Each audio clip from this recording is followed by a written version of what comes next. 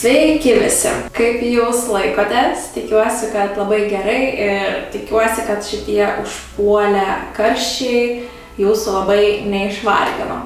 Man visai patinka, bet e, stoviu vat dabar ir jaučiu, kaip visa prakaituoju ir pasidažiau labai nedaug, nes žinau, kad tas makiažas man tiesiog nuvalvės ir pabėgs visas. Tai šiandien sugrįžtu su dar vienu video ir man atrodo, kad jis bus tikrai labai įdomus, nes kalbėsim apie lūpų priežiūrą. Tai mano nuomonė, mes iš tikrųjų labai dažnai pamirštam pasirūpinti savo lūpom. Rūpinamės veido odą, plaukais, kūno odą, nagais, pėdų nagais, pedikiūrą daromės ir panašiai, bet kažkodėl tai apeinam būtent lūpas. Lūpų oda, kaip ir paakių oda, iš tikrųjų yra plonesnė, galėčiau sakyti ir jautresnė, nes lūpose nėra e, riebalinių liaukų, kurios yra mūsų kūno odoje ir veido odoje. Riebalinės liaukos padeda išlaikyti mūsų odą drėgną, pamaitintą ir tiesiog taip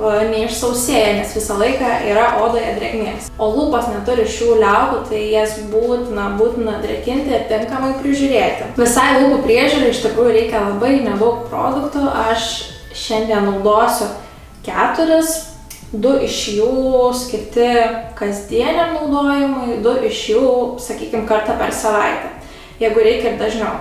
Žinoma, prieš pradedant dar norėčiau pasakyti, kad jeigu matot, jog tikrai turit problemų su lūpų oda, tai būtinai nueikit pas dermatologą arba kosmetologą ir patys nesigydykit, nes galbūt jums trūksta kažkokio tai A ar E vitamino ar kažko kitko, tai jeigu tikrai nepadeda paprasti dalykai, reikėtų kreiptis į gydytoją.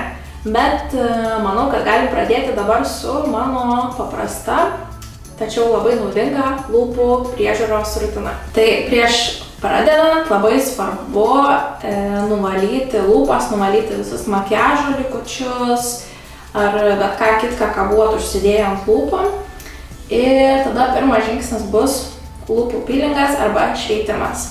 Kaip ir mūsų veido ir kūno oda, taip ir lūpų oda lygiai taip pat ragėja ir atsinaujina, tai jeigu mes lūpų nenušveisim, tos suragėjusios lastelės kaupsis ant e, lūpų paviršiaus, sausės ir bus lūpam labai sunku pasisavinti bet kokio balzamo ar kažkokios drėkinamos priemonės naudingus ingredientus tai lūpas reikia lygiai taip pat šveisti kartą per savaitę, kaip ir mes darom tą su veidu ar kūnu. Šveitimui aš naudosiu lūpų pieštuką, šveitiklį iš Altera ekologiškos kosmetikos linijos. Šitas lūpų pieštukas yra su ekologiškais kokosų grūdeliais, kurie būtent ir nušveičia odą, ir su migdolų aliejum, kuris to pačiu ir drėkins ir neišsausins lūpų. Dažniausiai po visų ar veido ar lūpų pylingų ta oda jaučiasi labai sausa Tai gerai, jeigu pats šveitiklis yra ir su drėkinamosiom medžiagom. Galima naudoti iš tikrųjų bet kurį lūpų šveitiklį, aš turiu dar tokiam indelyje, bet man atrodo, kad būtent toks yra žymiai patogiau. Tai pradėsiu tada dabar su lūpų šveitikliu, jisai yra toksai kaip lūpų pieštukas. Tiesiog, tai man atrodo, kad labai patogu net ir kokią kelionę vežtis, nes galima tiesiog E, kaip lūpų balzamu tepantis taip šveisti ir lūpas. Pasiemu savo tradicinį veidrodėlį iš visų video, turbūt šitam veidrodėliu koks, nežinau, šeši metai kokie tikrai, bet nu, kažkodėl jis man labiausiai tinka ir patinka. Ir dabar šveisiu lūpas. Galite panaudoti pirštą, piršto pagalbą, Tiesiog geriau įtrinti tą šveitiklį, maždaug apie minutę aš manau, kad reikia eksfolijuoti, minutę dvi. Nepamirškit zonų ir aplink lūpas, nes tenai, jeigu pastebėjot, yra ir porų ir būna kartais spuogelių, tai tas vietas aplink lūpas irgi labai gerai uh, pašveisti. Nušveitus lūpas, dabar tiesiog reikia nuvalyti arba makiažų skirtą servetėlę, e, tą visą šveitiklį arba tiesiog vatos padeliu. Aš panaudosiu vatos padelį.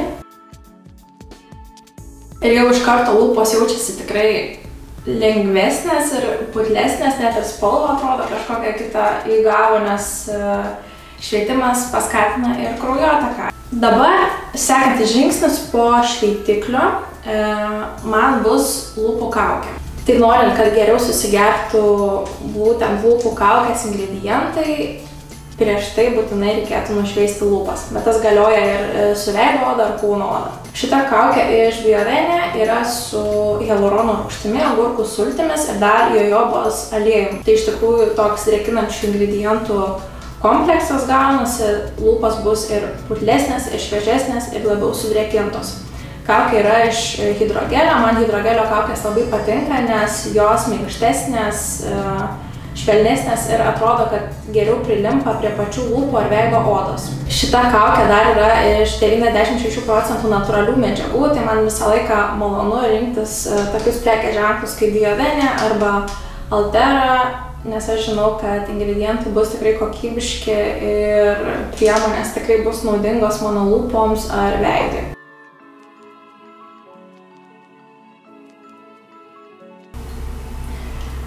Nu va, praėjo 15 minučių. Galiu pasakyti, kad lūpos jaučiasi kaip naujos. Jau jaučiasi kaip naujos, tai e, kaukė ir šveitiklis yra tie du produktai, kuriuos reiktų naudoti kartą per savaitę lūpoms. Dabar turiu šalia savęs du kitus produktus. Vienas yra skirtas dienai apsaugai, o kitas yra skirtas tiesiog kasdieniam drėkinimui. Priemonė skirta drėkinimui. Čia yra Dr. Popo, Popo, Pop, nežinau net kaip teisingai ištarti, lūpų balzamas, kuris yra iš tiesų universali priemonė. Tai šitą lūpų balzamą galima naudoti ir plaukų galiukams, ir suskerdėjusioms alkūnėms, ir nežinau, galima pasitepti uh, antakius, galima patepti bet kurias kitas sausas vietas, nagų odelės. Aišku, šita priemonė yra um, iš natūralių ingredientų ir yra vegan ir loved by celebs and makeup artists. Tai mėgiama įžymybių ir visažistų garsių.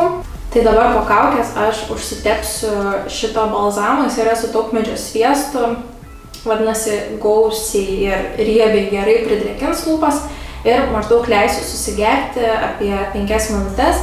Daug nepritepsiu, nes priemonė gan rieboka, iš tikrųjų tai labai daug ir nereikia. Ir paskutinis produktas, kurį naudosiu, tai yra, žinoma, apsauga. Kaip ir mūsų veido odai reikia SPF, kaip kūnui reikia SPF, taip ir mūsų lūpoms tikrai, tikrai, tikrai reikia SPF. Tai rankose čia turiu e, lūpų balzamą iš Nivėja. Sudėtyje šitas balzamas turi tyro vandens ir jojobos aliejaus, kaip ir kaukė, kurią naudoju. Jojobos arba dar kitaip simonsidijų aliejus yra labai labai labai gerai drėkinantis ir maitinantis ir apsaugantis lūpas. Tai um, vėl puikus derinys gavosi, o šitas lūpų balzamas yra su SPF 15 Tai jeigu renkatės lūpų balzamos apsaugą, žiūrėkit, kad būtų bent jau minimaliai SPF 15. SPF 50 ir daugiau dažniausiai būna e, balkšvos spalvos ir palieka baltą spalvą ant lūpų. Tai jeigu jums nepatinka ir nenori to efekto, tai tada žiūrėkit bent jau SPF 15, kad būtų. Ir žinoma, SPF apsaugą naudokit dienos metu, tai ryte arba bet kada dieną tiesiog pasitepkit su balzamus apsauga E, prieš einant miegoti tiesiog galima naudoti šitą priemonę. Tai labai gaiviai skaniai kvepia balzamas. Ir viskas, tokia būtų lūpų priežiūros rutina, tikrai neužima nei daug laiko, neužima nei daug vietos kosmetiniai ar lagaminė. Galima laisvai pasimti kelionę, kas ypač aktualu vasaros metu. Ir pabaigai, aišku, final, final žingsnis Lūpų dažai. Šiek tiek užsidėsiu lūpų dažų. Čia yra mano mėgstamiausia dabar kol kas iš Lumene. Luminous Moisture Matte Lipstick Wild Strawberry. 106 numeriukas. Jau gavau komplimentų kažkuriam video, kad labai graži lūpų spalva. Tai buvau pasidažęs su šituo lūpdažiu.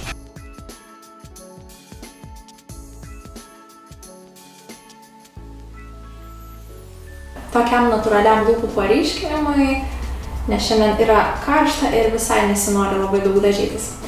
Tai va, ačiū, kad žiūrėjote, tikiuosi, kad video buvo įdomus ir paskatinau jūs labiau rūpinti savo lūpų odą ir tikiuosi, kad mano patarimais pasinaudosit ir tada iki kitų video. Iki.